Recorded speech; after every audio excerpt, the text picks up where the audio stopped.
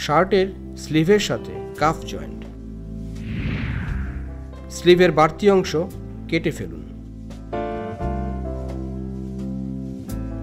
কাফের মাপে স্লিভের দুই পাশে মার্ক করে নিন।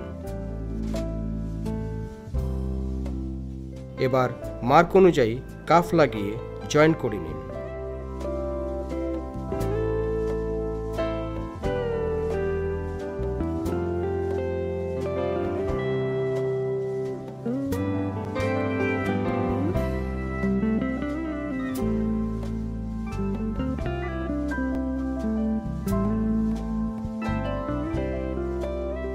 জয়েন্ট চেক করুন।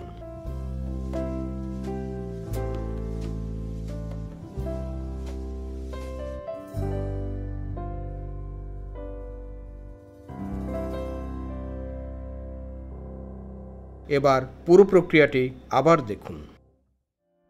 শার্টের স্লিভের সাথে কাফ জয়েন্ট। স্লিভের বাড়তি অংশ কেটে ফেলুন। কাফের মাপে স্লিভের দুই পাশে মার্ক করে নিন। এবার মার্ক অনুযায়ী কাফ লাগিয়ে জয়েন করে নিন।